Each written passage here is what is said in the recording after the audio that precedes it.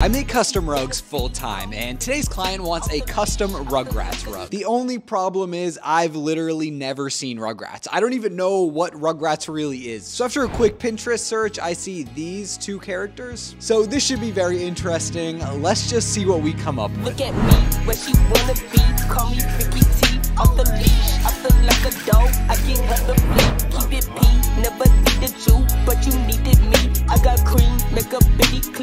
make a